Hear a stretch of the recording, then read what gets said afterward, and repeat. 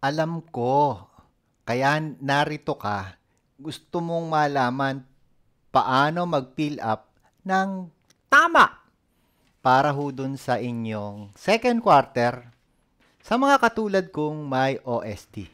Alam naman ninyo ang uh, rule, di ba? Kumuha ng kulay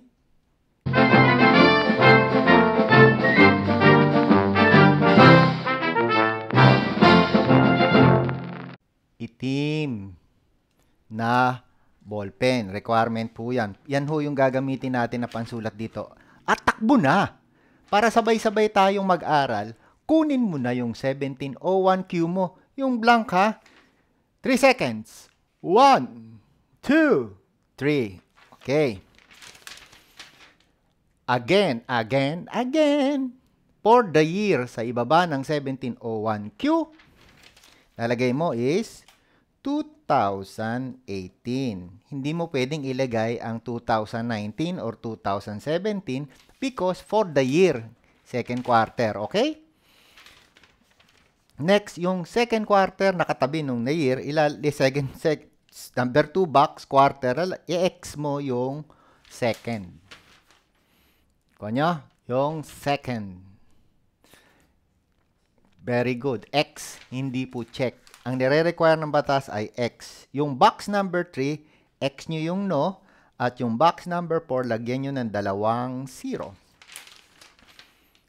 Yes. X, number, box number 3, box number 4, double 0. And then pupunta tayo sa box number 8. Ito po yon. Lalagyan nyo ng X, yan pong business income graduated.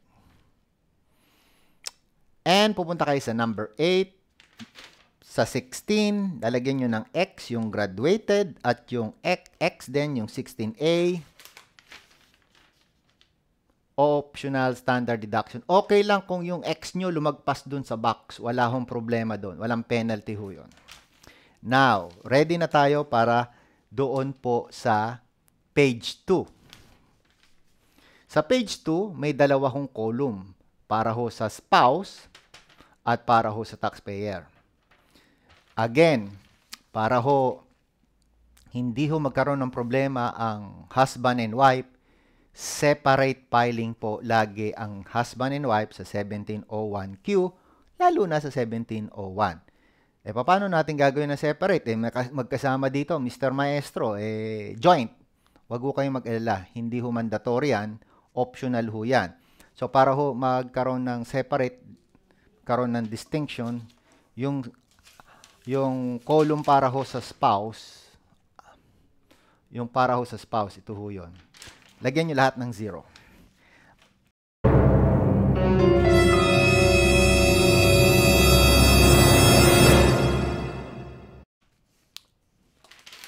Papapansin po ninyo, zero mula sa taas hanggang pababa.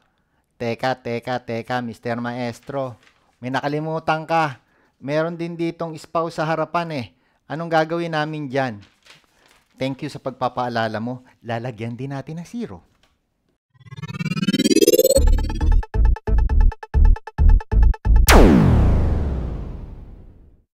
Oh, balik na tayo. Pwede na tayong bumalik doon sa ano. Page 2. Lalagyan nyo rin po ng zero yung schedule 2. Irrelevant po yan sa inyo. Ayan. Lalagyan na natin ng 0. Yung schedule 2. For example, ang inyo pong kita from April 1 to June 30. Ang second quarter po nagsisimula ng April 1, magtatapos po ng June 30. So, hindi nyo kailangan yung ilagay dito, yung kita ninyo na sa March o sa July mali po yun. Basta yung kita lang nyo from April 1 hanggang June 30. For example, ang kita natin ay 1 million. Ay, ang sarap naman nun. 1 million ang kinita ko. Yan, mabuti kang tao, kaya bibigyan ka ng hanap buhay ng Panginoon. Hindi ka corrupt katulad ng mga taga-BIR na empleyado, mga revenue officer, ang babata pa, corrupt na. Too young, too corrupt. Ayan ang mga revenue officer. Huwag yung gagayahin ha. Okay. So, sa number 37, less cost of sale. Wala ka nun. Pag optional, walang cost of sale. Ayan. So, 1 million less 0. And of course, 1 million. Hindi magbabago yon. So, sa number 39, hinihingan ka ng allowable deduction. Walang hook allowable deduction sa optional standard deduction. Kaya lalagay natin 0. Sa number 40, optional standard deduction daw, 40% nung 1 million. O di 400,000 yun. Napakadaling computein. Walang kahirap-hirap. 1 million times 40% is 400,000. So, doon sa number 41, tinatanong niya kung magkano ang net income mo. O of course, 1 million minus 400,000, lalabas 600,000. Ayun. 600,000. Now, tinatanong ka, add taxable income previous quarter. Eh, second quarter to. Eh, ginawa na natin, di ba, yung first quarter? At nakasulat dito na ang previous income natin doon sa quarter ay 480,000. O di, ilalagay natin dito. 480,000. Na. Doon sa number 43, 44, eh wala naman tayo noon. Hindi tayo kumita ng ganon. Eh di 0, 0. 0, 0. So, 600,000 plus 480,000. So, ang income up to date is 1,080,000. 1,000. Ayun! Now, gagamitin natin ma'am and sir yung table 1. Ito po irrelevant. Irrelevant mga BIR, nagdadagdag kayo ng gastos namin mga taxpayer, mga irrelevant inilalagay nyo pa sa, hmm, hmm, pwede ba pasampal? Isa pa. Doon sa computation, titingnan ninyo yung column 1. If taxable income is over 800,000, tama naman, 800,000, over 800,000 yung 1,800,000. But not over 2 million, yun po yung gagamitin nating uh, tax due, uh, pagko-compute ng tax due. So, ayun, uh, 30% in excess of 800,000. So, ibig sabihin, 1,080,000 minus 800,000 280. Multiply daw ng 30%. So, 84,000 po yun. Tapos, idadagdag nyo yung 110, 130,000. Ayun, 214,000 yung babayaran po ninyo. Okay.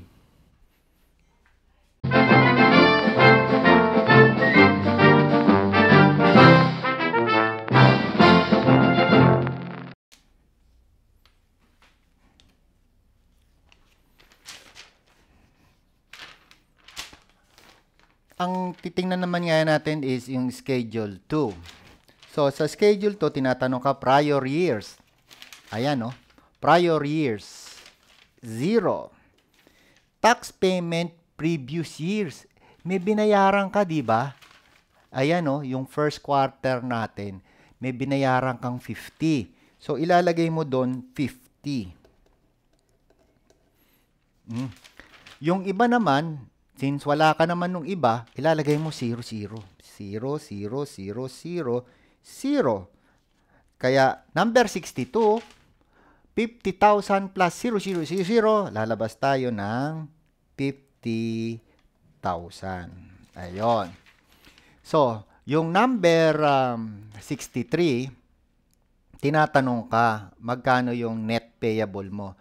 Yung number 46 na 214,000, ililes mo yung number uh, 61 na 50,000.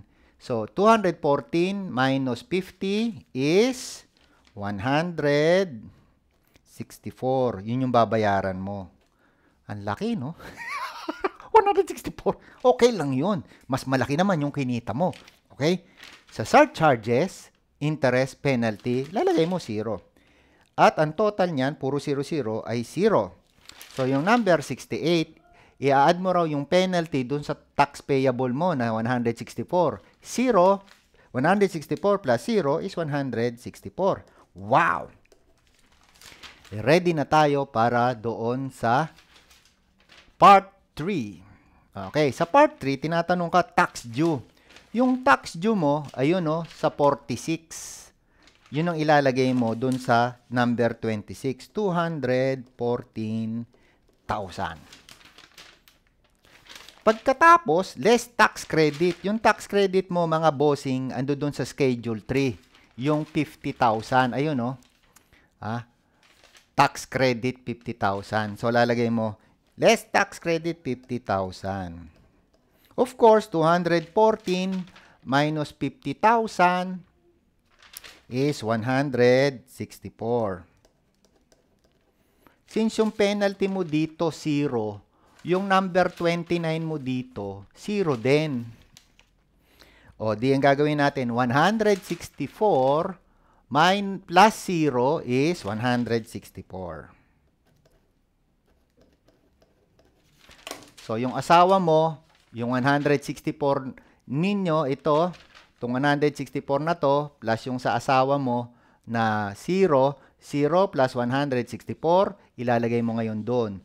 164. Ayon.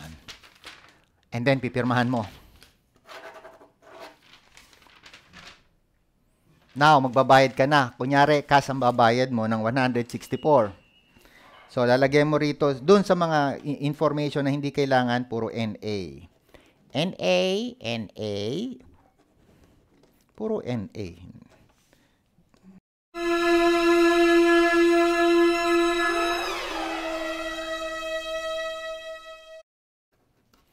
At, halimbawa, anong date? Second quarter. Lagyan natin August 15, 2018.